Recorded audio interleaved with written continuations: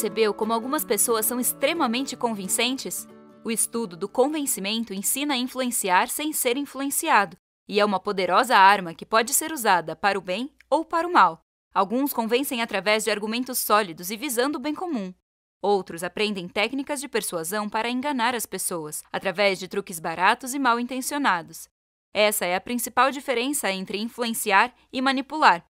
O objetivo desse livro é aprender a influenciar as pessoas e grupos de forma positiva e saber identificar técnicas de manipulação para se livrar delas. Robert Cialdini, autor de As Armas da Persuasão, descobriu quais os fatores levam os outros a dizerem sim, entrevistando profissionais e se infiltrando secretamente nas suas rotinas. Em sua pesquisa de campo, coletou informações de vendedores, arrecadadores de doações, publicitários e uma série de outros profissionais, Entrevistou essas pessoas e leu seus manuais. Se infiltrou secretamente em diversas empresas para aprender técnicas por três anos, um trabalho incrível.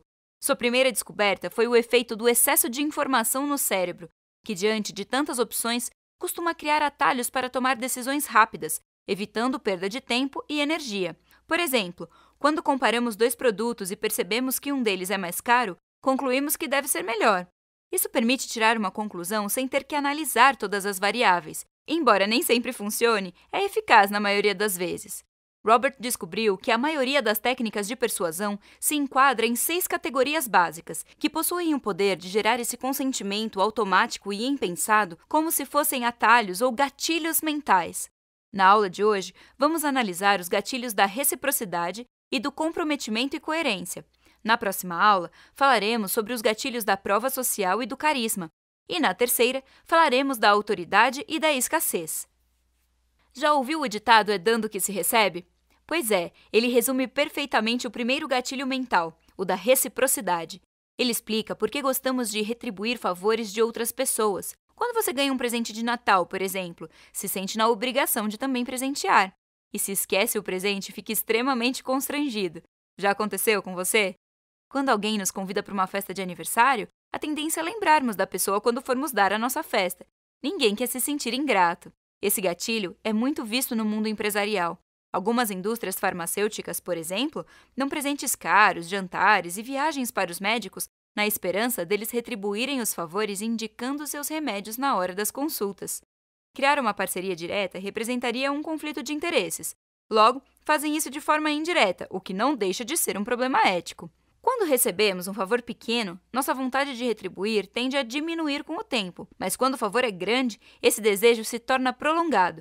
É como se ficássemos com uma pendência em nossa mente. Precisamos retribuir o favor para não nos sentirmos mais em dívida. O próprio termo obrigado já reflete isso. Para entender melhor o poder da reciprocidade, vamos analisar um experimento realizado pelo psicólogo Dennis Regan no final da década de 60. Dois voluntários foram chamados para observar obras de arte, mas, na verdade, apenas um deles era realmente voluntário. O outro era um infiltrado da equipe que conduzia a experiência. Esse infiltrado saía da sala e voltava com duas garrafas de Coca-Cola e dizia: Olha, perguntei ao pessoal se podia pegar um refrigerante e me disseram que sim, por isso comprei um para você também. Em alguns casos, essa pessoa não fazia isso para formar dois grupos distintos e poder comparar a diferença de comportamento entre eles. Mais tarde, depois que todas as pinturas tinham sido avaliadas e o pesquisador deixava a sala, o infiltrado fazia um pedido. Contava que estava vendendo bilhetes de rifa de um carro novo e que, se vendesse mais do que os outros, ganharia um prêmio de 50 dólares. Então, pedia para que comprasse pelo menos um bilhete que custava 25 centavos. O grupo de voluntários que ganhou o refrigerante comprou duas vezes mais bilhetes que aquele que não recebeu nenhum favor. O presente inesperado os deixou constrangidos e, para aliviar a pressão psicológica da dívida, retribuíram a gentileza. O interessante é que ganharam uma garrafa de coca que na época custava 10 centavos e compraram em média duas rifas, que somavam 50 centavos. Um belo investimento para o infiltrado, não acha? O experimento do refrigerante mostra o poder da reciprocidade, mas também revela seus riscos. Vamos falar dos três principais. Primeiro, não importa se conhecemos ou não a pessoa que nos fez o favor, nos sentimos na obrigação de retribuir. Esse experimento e diversos outros comprovam que a gratidão é muito mais forte do que a simpatia, o que significa que você faria mais por alguém que fez por você do que por alguém que simplesmente gosta.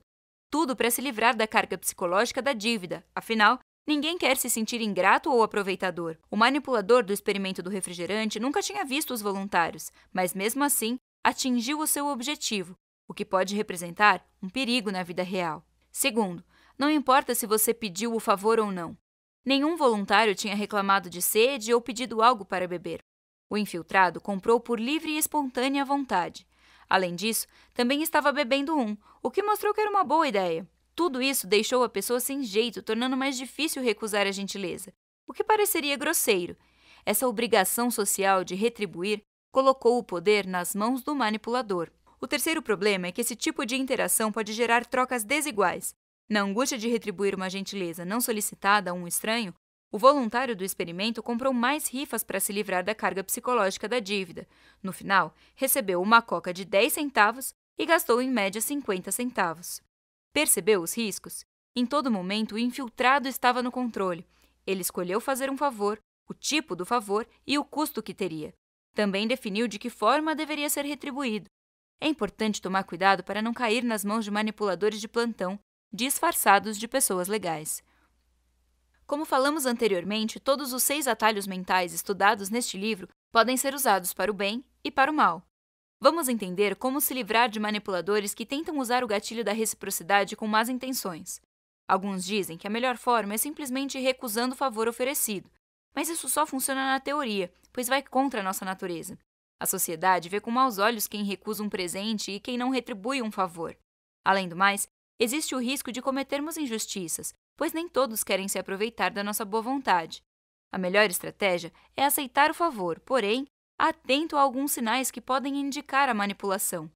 Precisamos olhar presentes, favores e gentilezas pelo que são, não pelo que parecem ser.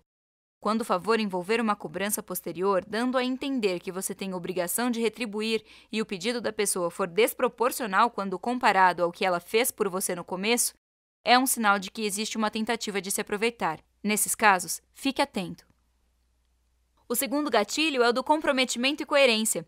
Ele diz que após tomarmos uma decisão, nos convencemos de ter feito a escolha certa e, assim, nos sentimos melhor. Isso ocorre porque o ser humano tem um desejo de ser e parecer coerente. Já que a realidade não muda, precisamos nos comportar de acordo com esse compromisso, mesmo que precisemos nos enganar. Tudo para manter a coerência. Por exemplo, quando as pessoas apostam num cavalo durante uma corrida, sua confiança naquele cavalo automaticamente aumenta, mesmo que o apostador não tenha nenhum controle sobre o seu desempenho. Isso ocorre porque o cérebro se convence de que foi uma boa escolha, pois já houve um comprometimento e é bom manter a coerência. Um experimento feito nas praias de Nova York ilustra esse conceito perfeitamente. Um ator pede para uma pessoa para tomar conta das suas coisas, pois precisa sair rapidamente. Em seguida, outro ator aparece fingindo ser um ladrão e começa a furtar os pertences dele. No grupo em que não houve o pedido para cuidar das coisas, apenas 20% impediram o furto. Quando o ator pediu para tomar em conta dos pertences, essa porcentagem saltou para 95%. Impelidos pela regra do comprometimento e coerência, os cobaias se tornaram verdadeiros vigias. O autor presenciou uma técnica muito usada por vendedores de carros nos Estados Unidos. O cliente vai à loja procurando um carro. Após olhar as opções, encontra um muito bom e com um desconto incrível. Combina de voltar no dia seguinte para fechar o negócio e em casa se convence de que aquela é realmente a melhor opção. Seu cérebro começa a criar outros motivos. O motor é potente, o interior confortável, além da beleza do carro. Pronto, o gatilho do comprometimento e coerência entrou em ação, o convencendo de que a escolha é correta. Tudo para fazer com que não volte atrás. Quando ele volta à concessionária no dia seguinte, o vendedor diz que infelizmente não vai conseguir dar aquele desconto, pois foi um erro do sistema. No início, era o único argumento que o convenceu, mas agora sua mente criou vários outros. A retirada do desconto é ruim, mas não o suficiente para fazê-lo desistir. Essa estratégia tem até um nome: técnica da bola baixa. Nela, o vendedor oferece um incentivo para firmar um compromisso que depois é retirado de repente. Como outras razões surgem, o compromisso se mantém firme e a venda é feita sem desconto. Mais um exemplo do gatilho usado de forma maldosa. Os compromissos que assumimos têm o poder de ativar nossa coerência, reduzindo as chances de mudarmos de ideia. Alguns deles são tão fortes que têm a capacidade de mudar nossa autoimagem. Quando nos comprometemos, começamos a nos ver de forma diferente e voltar atrás fica quase impossível. Mas nem todos os compromissos têm esse poder. Precisam ter algumas características especiais. Primeira, devem ser ativos. Isso requer que a pessoa faça ou diga algo para concordar, reforçando mais ainda na mente a obrigação de manter a coerência. Segunda, públicos. Compromissos assumidos na frente de outros geram um impulso de manter aquela posição para parecer coerente. Terceira, trabalhosos. Está provado que quanto maior o esforço envolvido num compromisso, maior será a sua capacidade de influenciar as atitudes da pessoa que o assumiu.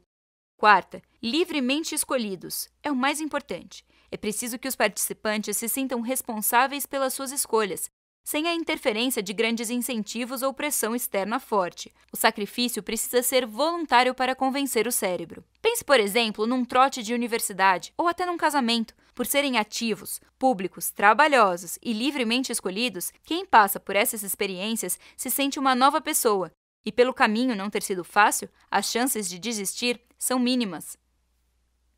Existe uma forma prática de identificar se você está caindo na armadilha do comprometimento e da coerência, seja através de uma manipulação ou enganando a você mesmo. Quando está diante de uma escolha, por exemplo, um apartamento para alugar, pense primeiro nas vantagens.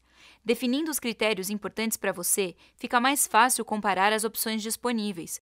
Só depois disso a decisão será considerada racional. Mas quando decidimos, antes de avaliar as vantagens, estamos racionalizando e não raciocinando. Uma coisa é se convencer depois de pensar, outra é se convencer antes de pensar. O próprio viés da confirmação diz isso. Quando escolhemos um lado, consumimos conteúdos que reforcem essa ideia, pois nossa mente tem medo de ser convencida do contrário. Esse gatilho é muito forte em pessoas mais velhas e em culturas mais individualistas, pois são grupos onde honrar compromissos anteriores e mostrar estabilidade e coerência é muito importante. Precisamos tomar muito cuidado, pois o gatilho do comprometimento e coerência está muito presente em discursos políticos, apelos religiosos relacionamentos pessoais e comerciais. É preciso identificar quais desses compromissos são realmente vantajosos para nós e quais não são, porque uma vez dentro deles, nossa tendência é não querer mudar de ideia. E aí, o que achou da nossa primeira aula? Hoje aprendemos o poder dos gatilhos da reciprocidade e do comprometimento e coerência, além de formas para identificar e se livrar de pessoas mal intencionadas. Lembrando que os gatilhos também podem ser usados para o bem. Empresas que oferecem os melhores produtos e serviços despertam um sentimento de gratidão nos seus clientes, sem o peso das trocas desiguais. Criar um relacionamento de longo prazo com eles também aumenta o comprometimento e coerência, mas dentro de uma relação honesta, onde todos saem ganhando. Não há nenhum problema com isso. Na próxima aula, veremos o poder dos gatilhos da prova social e do carisma. Um abraço e nos vemos lá. Bons estudos!